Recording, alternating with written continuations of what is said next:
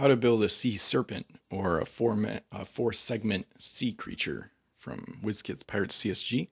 So this one, it's pretty easy to tell which one is the bow and stern. Sometimes they have a dot actually at the bow, but in this case, a big identifier is this second segment is going to have a really, really small tab at the aft part, the back part.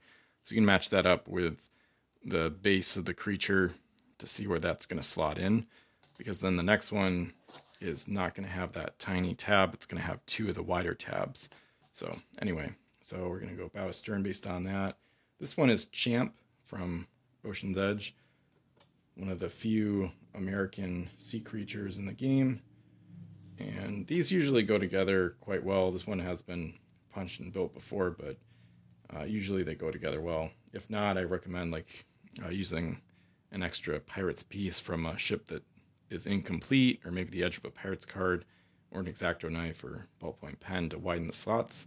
In this case, it goes together easily. So you've got the head, two uh, body segments, and then the tail. So very straightforward uh, ship type to build.